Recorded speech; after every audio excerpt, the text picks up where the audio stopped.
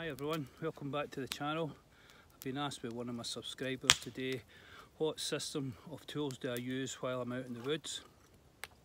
So what I've done over the years is just adopted the military system and that's a four tier system of tools. So number one would be a heavy chopping blade and that would be something like a kukri,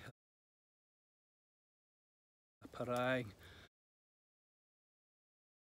a golok, you know, a large chopping blade, machete type blade for doing all the heavy chopping that is required for making, let's say, a hide, cutting through jungle vegetation, cutting up your camouflage to put on your ghillie suit, stuff like that. So this was the number one choice, it'd be a large chopping blade. Our second choice then would be task specific to the military and that was a fighting knife. While serving in Marines, as you know, Marines usually carry a commando dagger and I carried one throughout my whole career. So that's very task specific to the military. And number three then would be a multi-tool and that was for sorting out stuff like on your radios and your weapon. It just it covered everything and I used a Leatherman throughout my whole career and still have one to this day. And the fourth option then was a one tool option or do the jobs of all the other blades put together. And for me, I used a heavy chopping tool and for that one I used the Busse Fat Battle Mistress also the Swamp Rat Rodent 9 knife throughout my whole career and I've still got these blades to this day. After leaving the military then, uh, coming into doing my civvy camping and getting up the woods with the dogs and stuff like that. And I started a journey on doing a lot of testing of steels to see what steels gave the best performance and at what prices. And basically I was looking for a blade that was affordable and I wouldn't cry too much if I broke it or lost it. So that sent me on a, a journey for a good number of years and I wasted a lot of blades over that period of testing this out.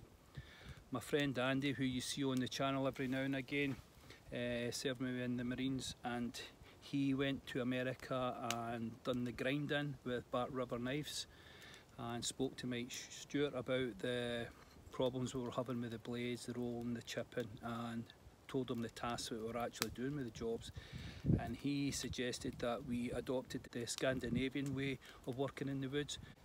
A saw for doing all your delimbing and getting the large logs down to size.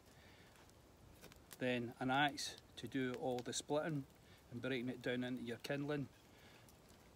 And then use a puukko design knife or a small bushcraft knife for all the small tasks round about the camp.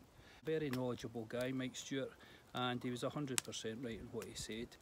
And that principle did work for me and it still does to this day. So after a number of years of using the Scandinavian method of working in the woods with the saw, the axe and a small bushcrafting knife, I wanted to move away from that idea and one thing that always stuck in my head over the years was after watching the film The Hunted and I seen the WSK knife, the Dave Beck one. I always wanted one but knew I'd never be able to afford it. And here's the Bark River version of it without the, the saw along here that I had in the movie. And this one here is done in A2. It's a brilliant blade as well.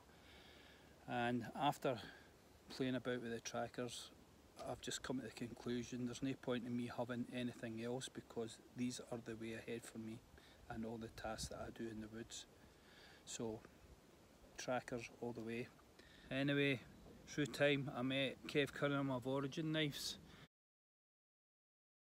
Discussed with him about some of my ideas for my military background and the knives and what and how I used them up in the woods and I told him I really liked the tracker knives as a one tool option for me uh, but he was a really busy man, he had a lot of other projects on, really really busy in the workshop and basically never got round to doing it and it took us a couple of years eventually, I eventually after a good number of years we actually got round to making a couple of trackers. And his have been absolutely brilliant. So I wanted one that was basically indestructible for me and something if I went on a SERE course would survive it and he built me this knife here. And this has been brilliant this knife. It chops down trees uh, you can smash it through everything.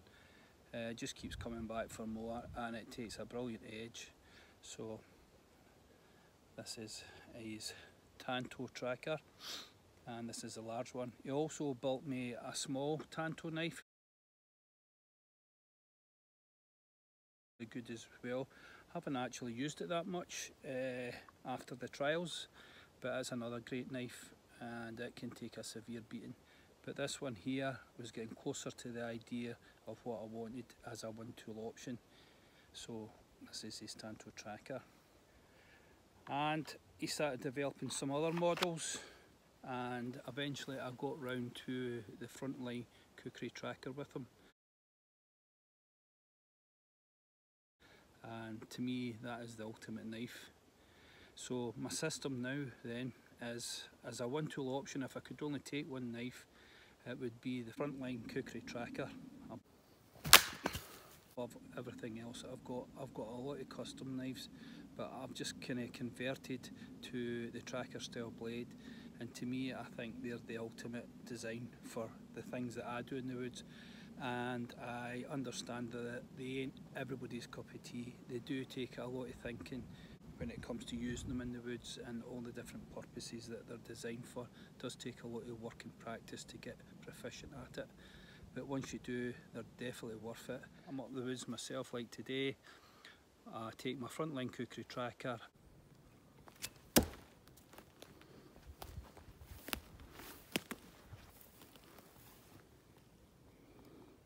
and this blade here, this is my EDC and this is the Origin Shirley and it's done in B cut.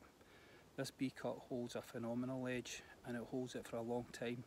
The good thing about it as well, it's stainless so it's much easier to clean and it's less likely to rust. Okay, and this is a great firecraft knife. As you can see the holes in the handles here take his friction free socket. and if you look back on my channel you'll actually see us doing a couple of bow drills with this blade this is really really good at firecraft stuff as well so this covers everything else that I require. So the frontline kukri tracker and this blade here would be my system now. So I'm down to two blades I would say. Right so hopefully that's helped you out and lets you understand the philosophies and the principles that I work with while up in the woods and doing the stuff that I do. Now understand that you maybe come from a different perspective than I do and your choice of blaze could be totally different and I agree with you 100%. We're all different here. Whatever works for you, keep it plain, keep it simple and you won't go far wrong. Right then, I'll catch you on my next videos. Thanks again for coming along just sitting down here and have a cup of coffee here. I thought I'd start a wee rant. So it's gone on long enough now. Right, catch you soon. Cheers.